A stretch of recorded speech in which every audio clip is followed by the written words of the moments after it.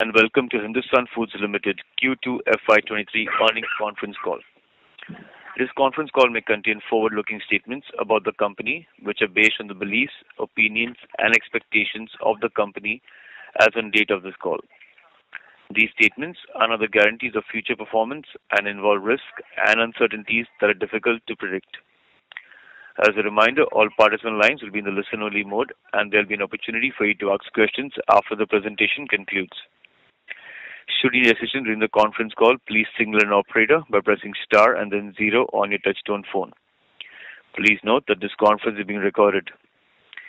I now hand the conference over to Mr. Sameer Kothari, Managing Director. Thank you, and over to you, sir. Thank you, Mike, and good morning, everyone. Uh, welcome to our Q2 H1 FY 2023 earnings conference call. I am joined on the call by Ganesh Argekar, who's the Executive Director of our company, Mr. Mayank Samdani, who's CFO, uh, Mr. Vimal Solanki, who is the Head of Corporate Communications, and SGA, our Investor Relations Advisor. I hope everyone has had a chance to go through our updated earnings presentation, which was uploaded on the stock exchange and our company website. Overall, I am pleased with the performance of the second quarter and the half year ended FY 2023.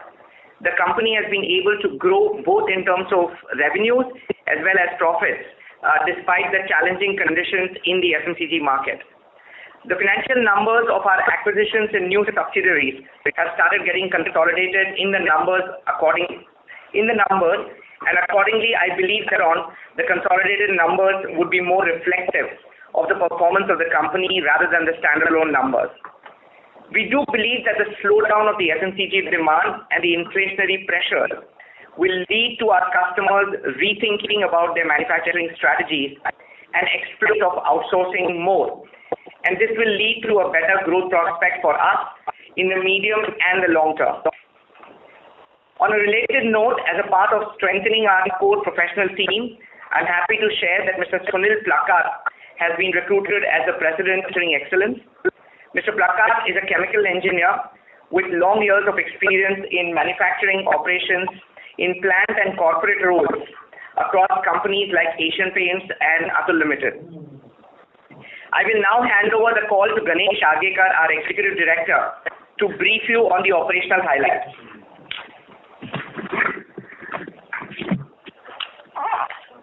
Good morning, everyone. I would like to highlight the operational performance of Q2 and H1 uh, FY 2023. The newly integrated Colour Cosmetics division and racket Reckitt of Scholl India Private uh, uh, Limited have successfully started contributing to the top line. The wholly owned subsidiary, HFL Consumer Products, has successfully commercialized the ice cream plant in Uttar Pradesh, Lucknow. While it has started commercial production, it has not contributed significantly to the revenue, this being a lean season. However, it is here to cater to the strong demand of the upcoming peak season. Additionally, we have expanded the capacity in beverage plant in Mysuru, and we are ready for the upcoming beverage season starting from Q4 this year. Uh, the project uh, work at Hyderabad uh, soap bar project and the expansion facility are progressing well as per the scheduled timelines. I will now hand over the call to Mayank Samdani, our Group CFO, to take you through the financial results for the quarter ended 30th June 2022. Good morning, everybody. We post strong numbers this quarter and are on track to meet our annual estimates. As Sameer mentioned, we will be discussing consolidated numbers as they are more meaningful than the standalone numbers from now on. Our top for the quarter increased by 40.7% on year-on-year basis to rupees 663 crores in Q2 FY 2023 as to rupees 471 crores in Q2 FY 2022. For H1 FY 2023, revenue stood at rupees 1,262.3 crores, a growth of 35.2% over H1 FY 2022. EBITDA for the quarter has seen a growth of 49% year-on-year and stood at rupees 44 crores as against 29.6 crores in Q2 FY 2022. Profit grew by 73.73% year-on-year to rupees 18.9 crores as compared to rupees 10.9 crores in Q2 FY 2022. EPS for H1 FY 2022 stood at rupees 3 versus 1.86 in H1 FY 2022. As on September 30th, 2022, our net worth stands at 8 crores. Gross block as on 30th September stood at around 708 crores on account of consolidation, and our debt to equity ratio remains steady at the comfortable position of 1:1.1. We reiterate our near-term and the long-term targets for revenue and profitability as we continue to focus on accelerating growth through exploring organic and inorganic opportunities. With this, we also remain focused on strengthening our balance sheet and cash flow through effective capital management, which would facilitate us for the further growth. With this, I would like to open floor for the questions. Thank you. Thank you. We will now begin the question and answer session. Participants who wish to ask a question may press star and one on your touchtone telephone. If you wish to remove yourself from the question queue, you may press star and two. Participants are requested to use handsets while asking a question. Ladies and gentlemen, we'll wait for a moment while the question queue assembles.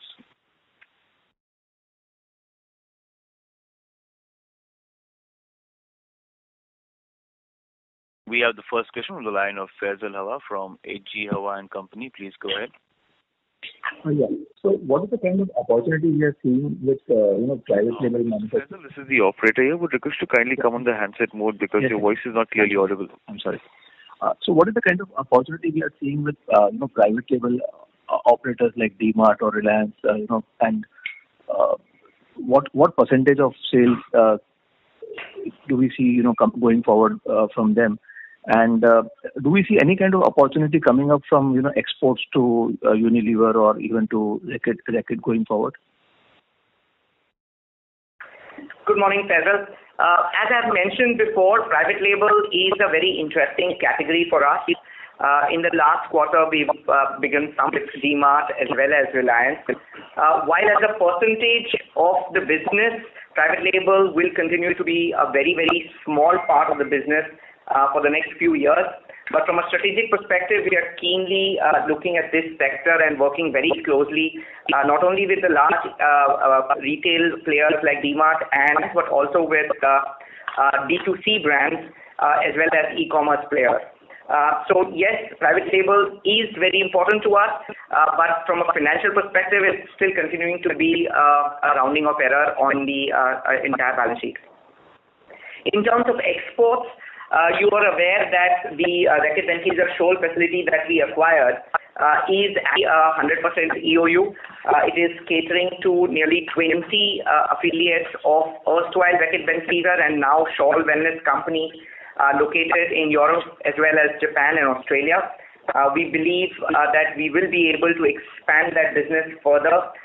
We are working closely with Scholl. Sanjay and I actually visited them in U.K. as well Uh, to try and see what else got into this factory and uh, also brought into India uh, in terms of the Scholl's portfolio internationally. In addition to that, we are also exporting some stuff from our Jammu factory to Bangladesh and other South Asian countries where we are exporting coils, et cetera. The shoe business, as you're aware, that completely exports as well. So exports continue to be a focus area, uh, but again, as a part of the financial number, uh, they will be a very, very small number for the next couple of years. Uh, and Like, you know, just just like Varun Beverages has done, is it possible that we ever get into, you know, the entire, you know, even C&F distribution for uh, any of the large companies that we are associated with? Because most of these companies, you know, want to now concentrate on marketing and branding. So you know, anybody who takes this uh, load off their shoulders would be would would get a lot of business. Faisal, I'm not sure that's the model for FMCG players. The bottling industry as far as uh, uh, soft drinks and beverages is concerned work slightly differently as compared to the FMCG industry.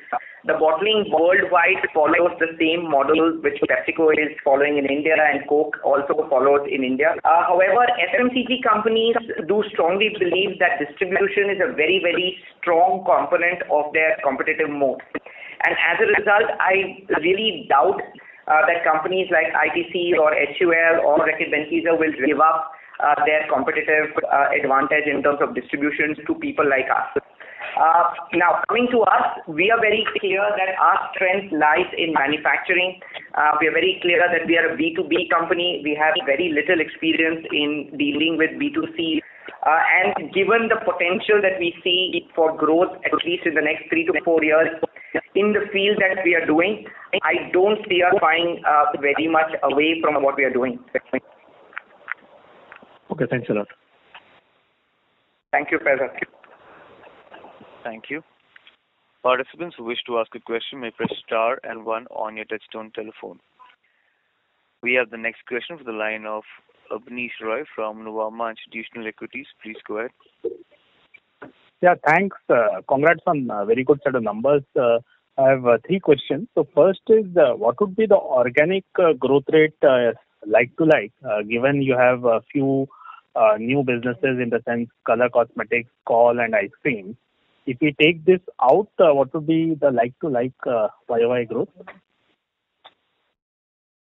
Abneesh, uh, I'll have to take a minute to explain to you the the business model that we have. Nearly 80%-85% of our business comes from dedicated factories.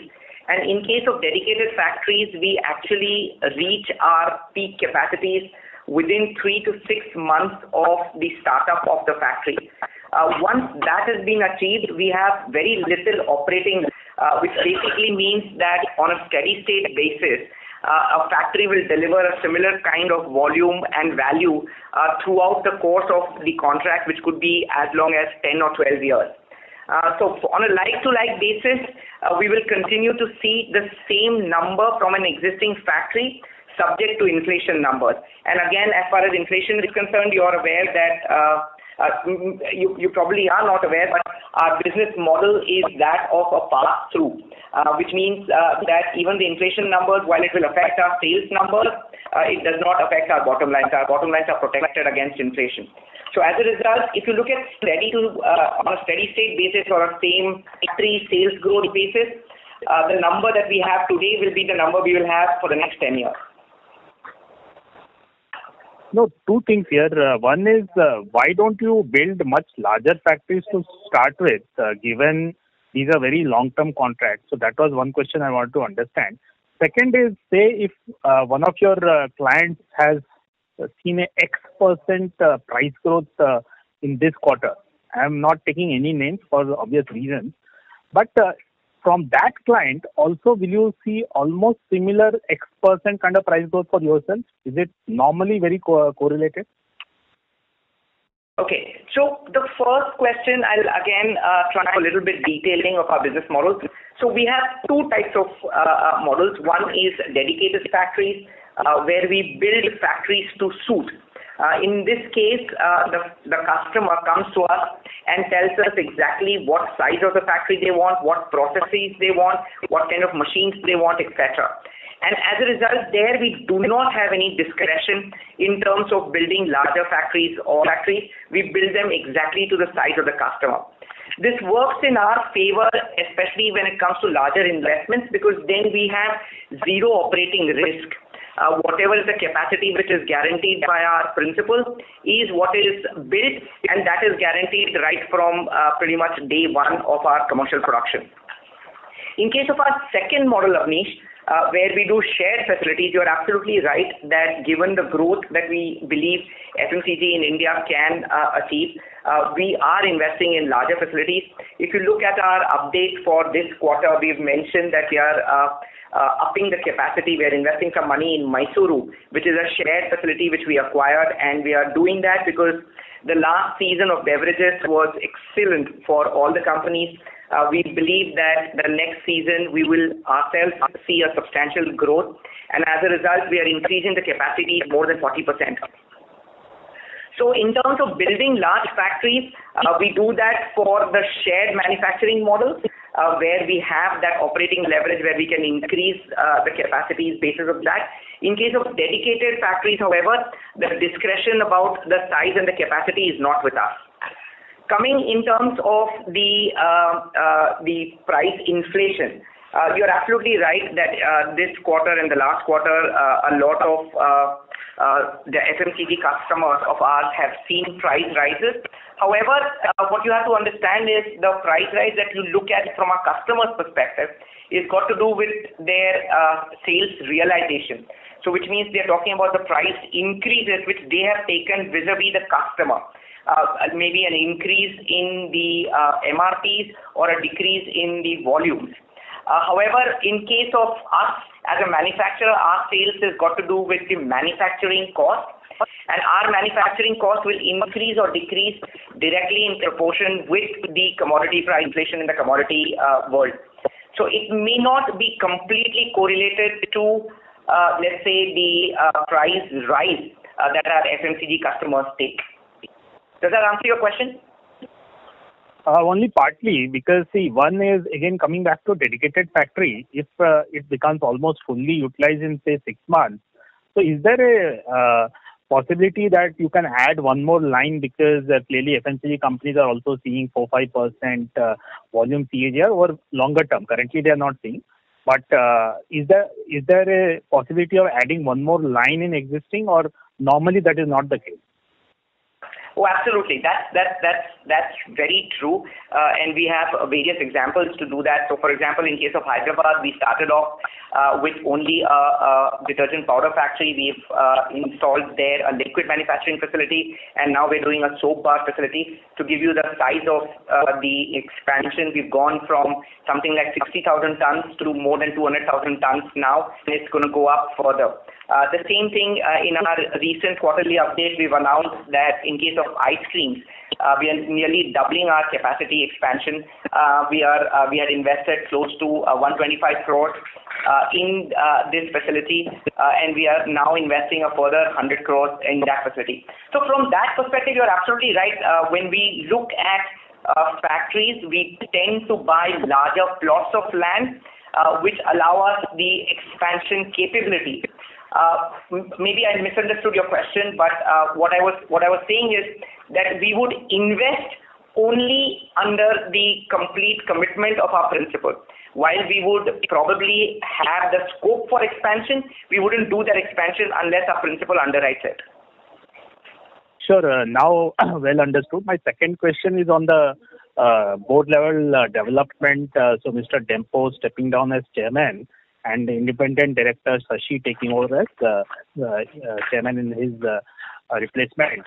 What is the reason, what is the significance, if at all? And any color you would like to give, how does this change from a medium long-term perspective, if at all? So frankly, it doesn't change anything. Mr. Dempo has been, he's a promoter of the company, and as you know, he's been a chairman of the company since 1999. Shashi, on the other hand, has also been with us Uh, for nearly, uh, I forget the exact number, but I think he's been a director for four or five years now. He's an independent director, he's a professional, comes from the FMCG industry.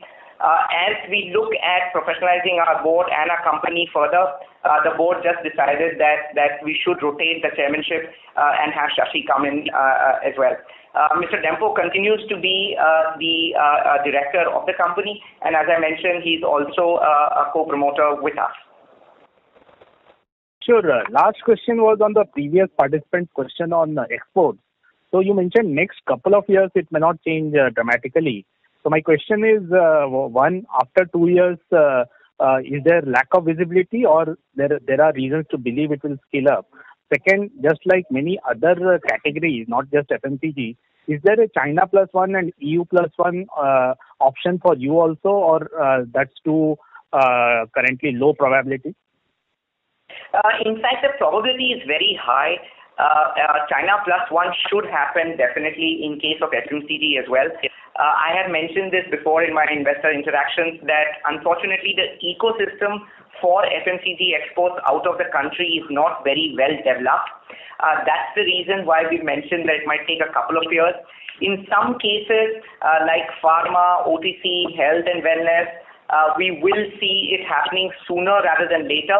In case of FMCG products which require a very robust uh, ecosystem for plastic molding and uh, plastic injection molding, uh, we might require a couple for the ecosystem to develop, thereby allowing us to export. To give you a specific example, which I have quoted before, but I'll, mention it again that in times of COVID, uh, one of the main reasons why India could not manufacture enough hand sanitizers and hand washes was because we did not have the capacity uh, to make any pumps and flip-top caps. Uh, you'd be surprised to know that uh, a large percentage of pumps in India are actually imported from China. So in a, in a situation like this, for us to be able to position ourselves as an exporter in place of China would require that the plastic manufacturing capacity and the plastic injection molding capacity has to be much better developed.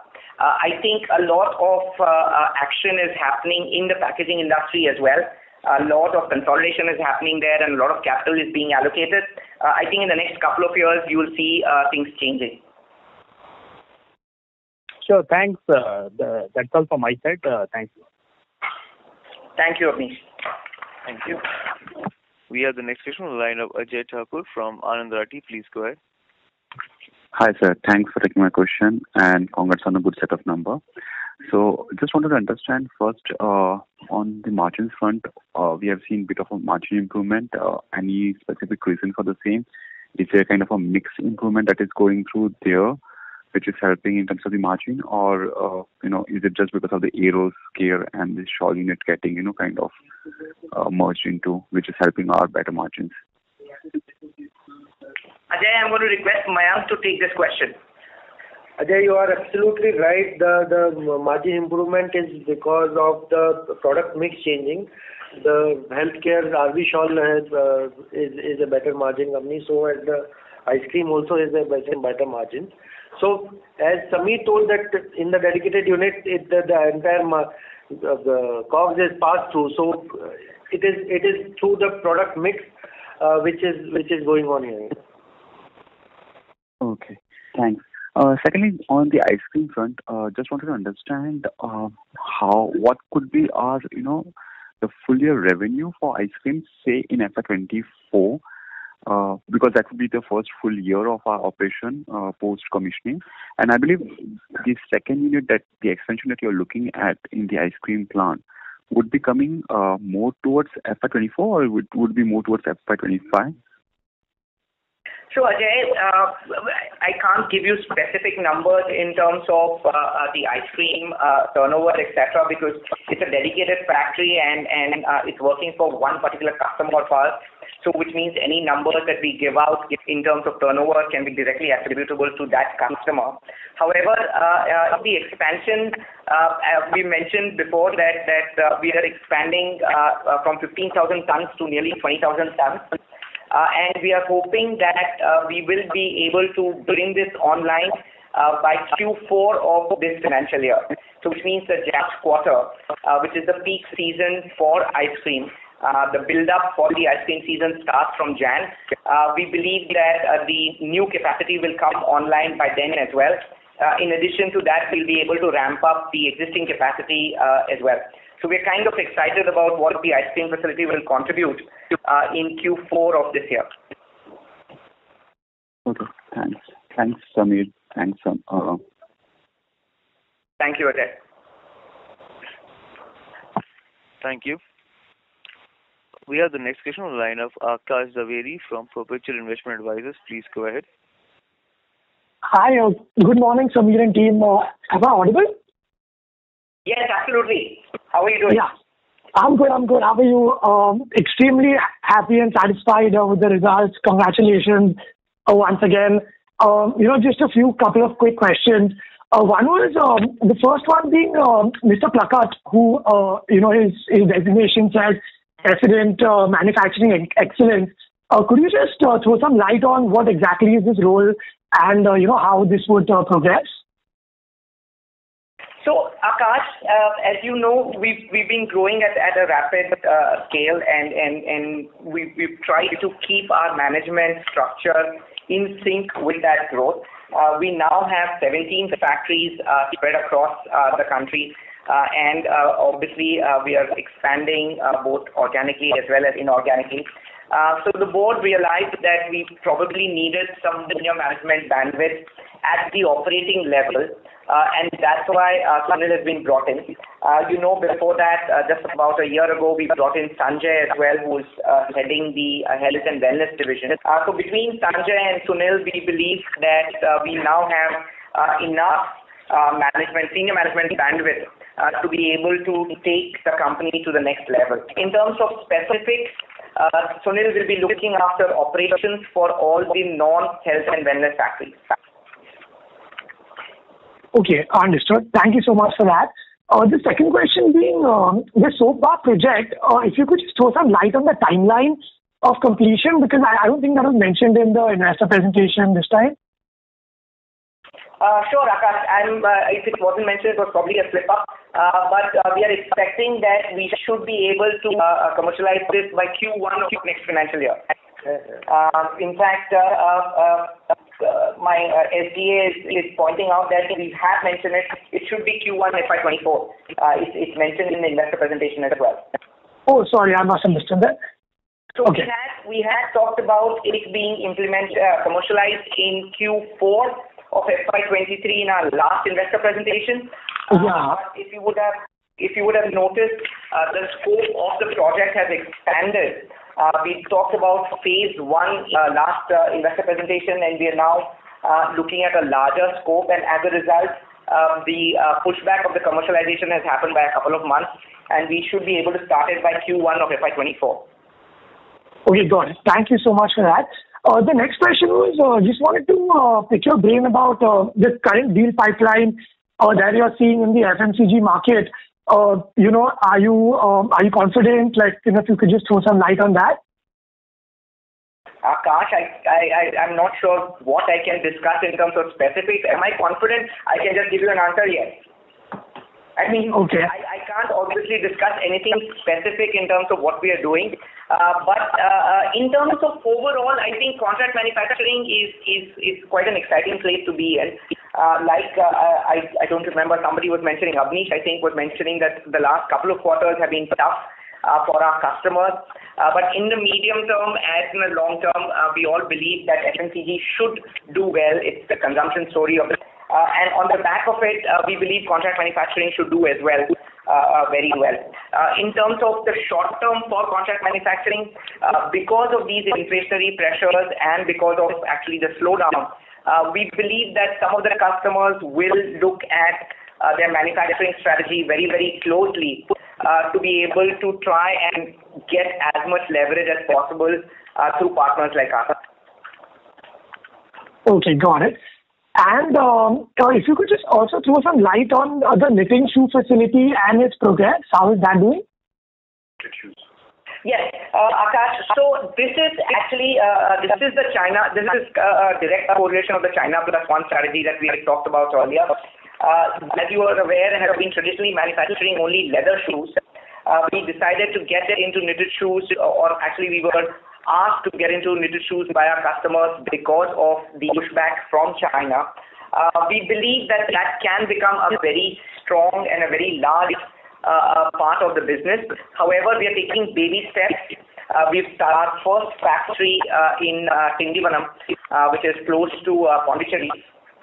And uh, we're taking baby steps along that line, uh, but I'm quite confident that that business should grow uh, uh, substantially over the next couple of years.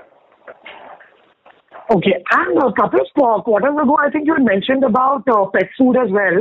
So has there been any progress on that? Uh, like maybe we might hear something soon, or uh, your thoughts on that?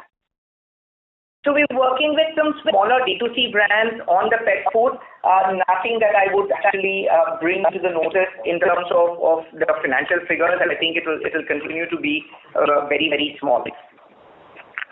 Okay. And uh, my last question uh, is regarding the effective tax rates that uh, you know which have come down.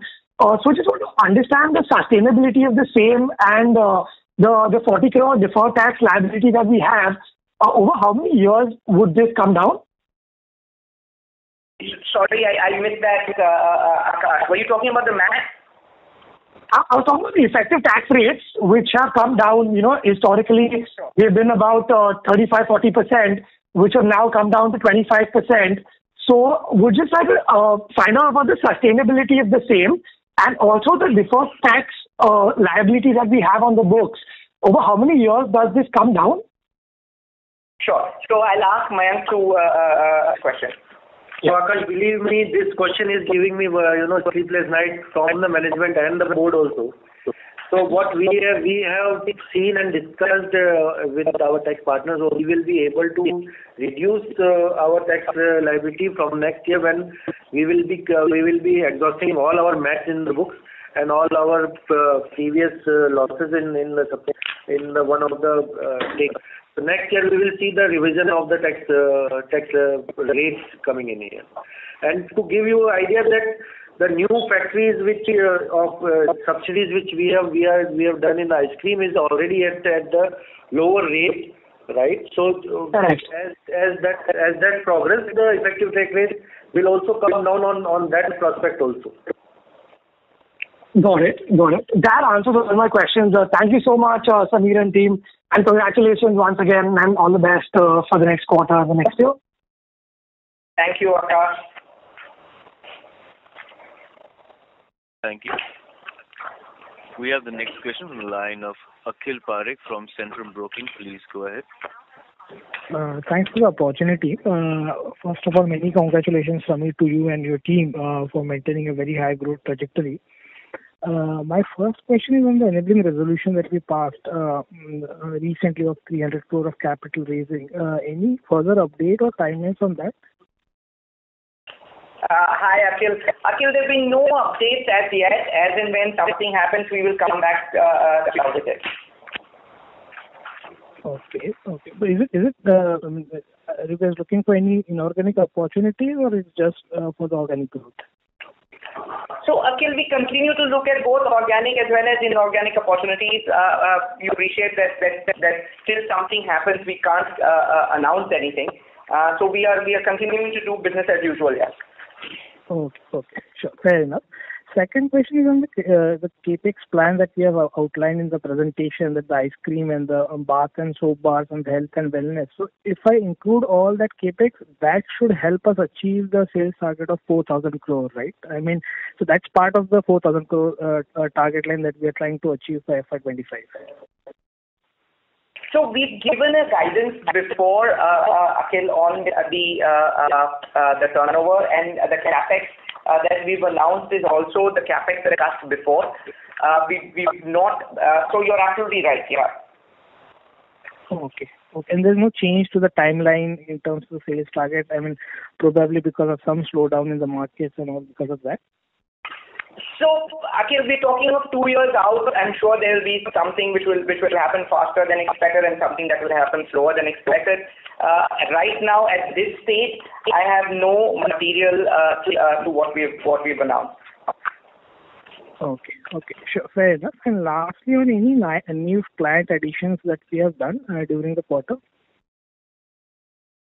Uh, Akhil, uh, I think we we've, uh, we we have addressed this question before. We continue to do that on a on a regular basis. I spoke about uh, DMart, Reliance. We talked about Tata Consumer, about uh, Miller. Uh, we generally avoid giving specific updates to the market in terms of each and every customer that we sign. Uh, but obviously, uh, the sales team is is is working hard to bring in uh, new businesses, either in form of new customers or in form of increased wallet share from existing customers. Sure. Sure. Fair enough. And um, uh, thanks for answering my questions and uh, uh, wishing you the best luck for coming quarters. Thank you, Akhil. Thank you. We have the next question from the line of Faisal Hawa from HG Hawa and Company. Please go ahead. Yeah. So, uh, Sameer, uh, uh, what is the, you know, acquisitions and what are the kind of acquisition opportunities we get every quarter? And, you know, how many do we really actively then pursue? And what, what is the, you know, uh, uh, generally, what is the uh, NCAP to sales that you, you know, ha- uh, which, which would, which would get you interested? That's one. And secondly, uh, what is the, you know, unutilized land in most of our factories? And, you know, you, you, do you feel that, uh, almost out of the 12 factories that we have, most are, uh, you know, uh, equipped to have enough land for the next 10 to 12 years, you know, so where you can keep on expanding without any further uh, acquisition of land at least.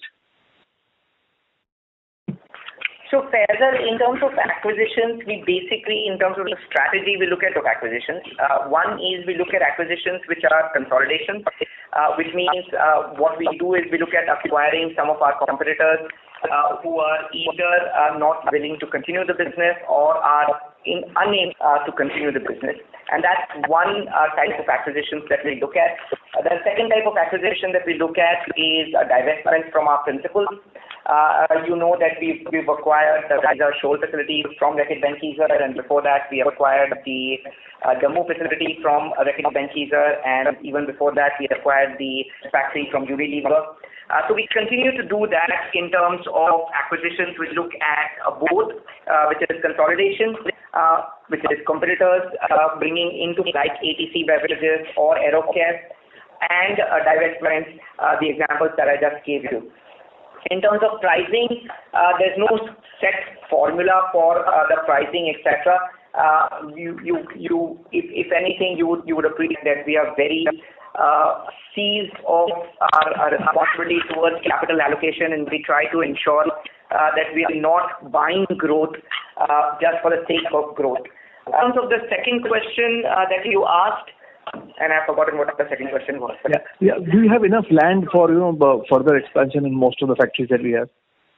Sure. So, Faisal, I I would say that we have, so there's there's never enough land, right? I mean, uh, if you look at the FMCG growth, and again, if you leave the next couple of quarters, uh, there's a huge potential for uh, contract manufacturing. Uh, The volume growth, other than the last two quarters in India, has been in in the range of between 5%-7% as far as FMCG is concerned.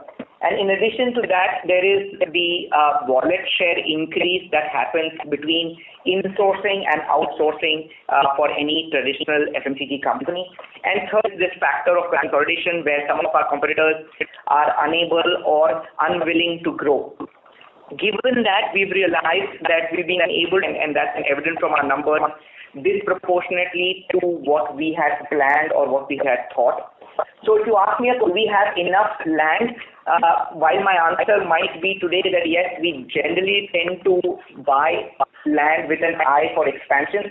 I also have to caveat that with the fact that even in a site like Hyderabad, which we acquired the first plot of land nearly 10 years ago, uh, and we acquired a substantially large plot uh, than what was originally required. We then ended up buying more land uh, just about two years ago. Uh, and if the expansion that we are currently uh, doing there, including the soap bar project, we might probably have to look at acquisition again. So it's a relative thing. But yes, in principle, we definitely try to acquire land more than what is immediately required. Okay. Thanks a lot. Thank you, Faisal. Thank you. We have the next question on the line of participants who wish to ask a question may press star and one on your touchtone telephone. Participants who wish to ask a question may press star and one on your touchtone telephone.